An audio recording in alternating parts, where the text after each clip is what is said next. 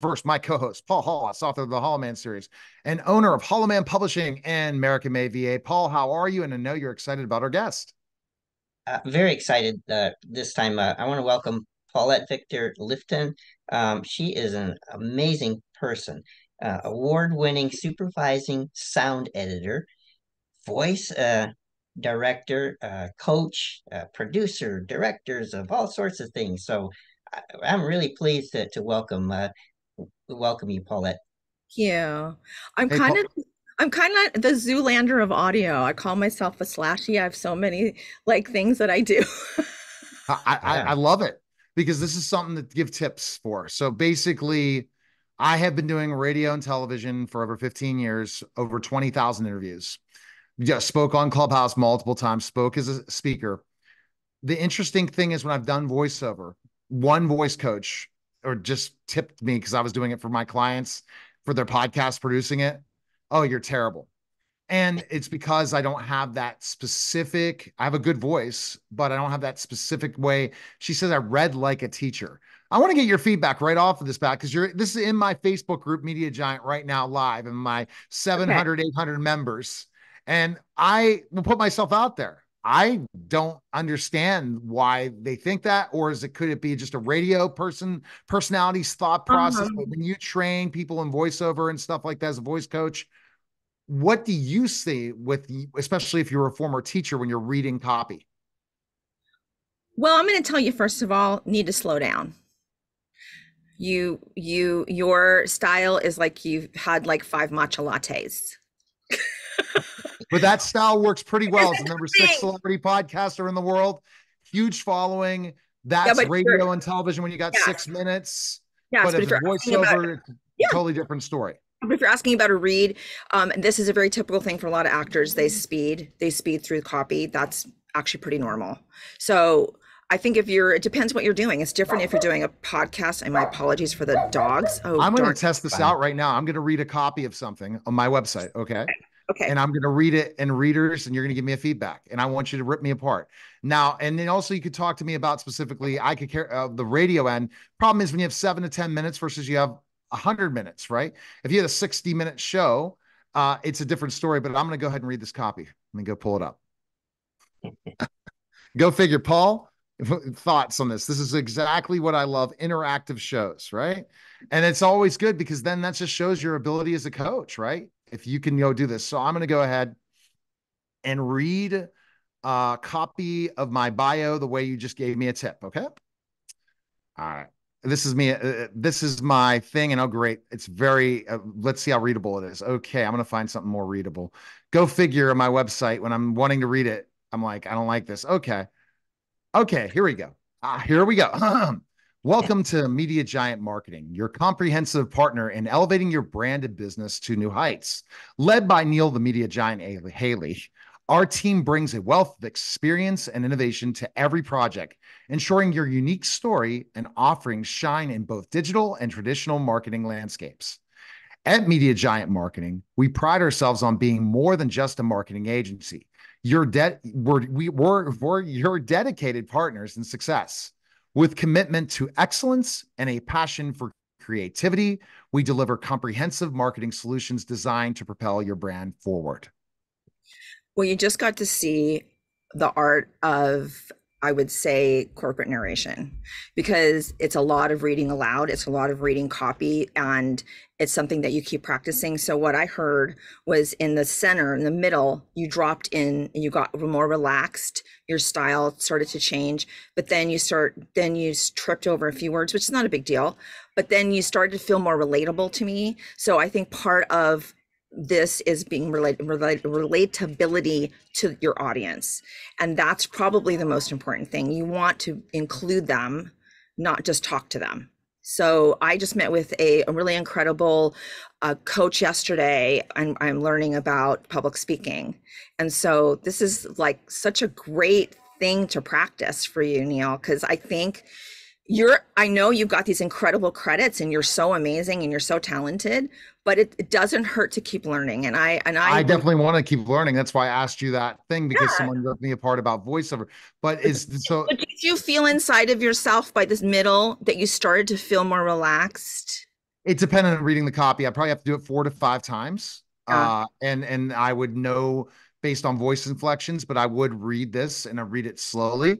But she was saying I was reading it in a teacher voice, and you don't read as a teacher voice. You have the other inflections throughout. It varies on the person and what the copy is and different things like that.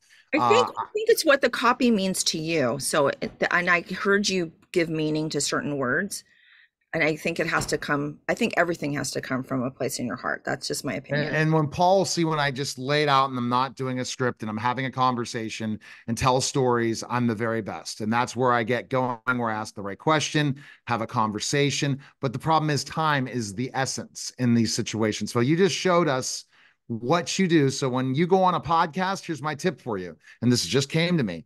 Ask them to try to try to show your what you do because when they see what you do on listening in a podcast, people are more likely to hire you. Well, I think that's true. I think that's true. I, I think I mean, I've been interviewing people since the beginning of COVID, and I've learned a lot about that myself. And I definitely have a lot more to learn and become better at it. So I think it's a really incredible craft, and and hats down and hats off, or whatever the word is. Yeah, and it's all about the conversation and connection. It's the opening when you have seven to ten minutes. You just want to roll through it, but I'm going to look at that more often in my in my craft but you're right readability what i just got a tip. Now i'll ask you the question why are you the person to be a great voice coach? What do you think has given you the experience level to say you are that that they should, should hire you? Well there's so many great coaches out there i have to tell you. Um, i think what makes me unique and special is that I believe in the people I coach and I go way out of my way to help them succeed. I have helped children who stutter. I have helped people in the autistic community. I've helped so many different types of people, um, people who have developed development disabled who want to express themselves more. Not so not just actors and not just people who are professionals, um, I really love helping people and I love being a part of someone's journey and I get a lot out of it. And this is not about the money for me. And there's a lot of people that that's, that's everything to them. And then adding the other thing, you do, do you do your own voice acting for specifically books and stuff? Audiobooks and stuff? I, more... I am a voice casting director and a and a voice director. I started in audio from uh, the production side, post production side. I have two Emmys for animation sound. So I got hired by the Weinstein Company when they started their animation arm, and they gave me like all their movies and all their dubbing. Sadly, they're gone. but I do this globally for all over all countries. Um, I'm sorry, for companies all over the world.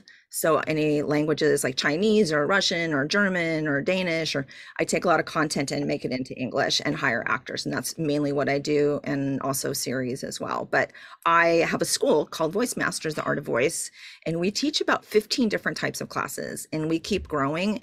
Uh, right now, we're looking at adding IP to our roster because with AI on the horizon, right. actors are going to really need to secure themselves in a much stronger capacity in order totally to are in order because there's ways of using the, the, the other generation there's so much things for creators or creators are in trouble what i would recommend if you are just a just a creator and not a business owner like yourself right is i would focus my attention on learning more the operations side of the game and more the production side of the game because at one point it's going to be ai for most things. You're not going to be able to duplicate a documentary that's about someone's personal life story or or a story of a podcast, but interviews, different things that are on national radio and things like that, that could be eliminated completely with AI down the line.